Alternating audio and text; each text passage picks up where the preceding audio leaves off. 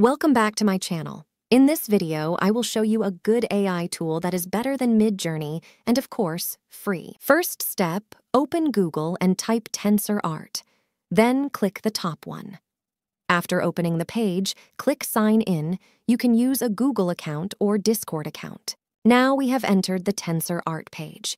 Here we can choose various LoRA models without having to install.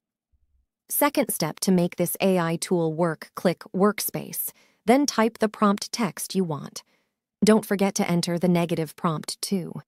I will try to type the text prompt that I have prepared before and click Generate. Step 3. Set the settings you want, such as changing the base model, adding a LoRA model, and changing the aspect ratio. For other settings, you can try to combine and explore yourself. Step 4.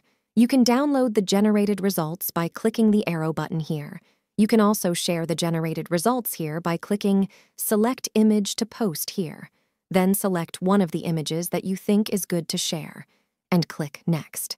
Fill in the title, description, and select tags that are relevant to the image that we will share, and click Publish. You can share this image to various social media such as Twitter or Facebook and get extra credit. TensorArt gives 100 free tokens per day. If you like this channel, don't forget to like, comment, and share. And thank you for watching until the end. See you again in the next video.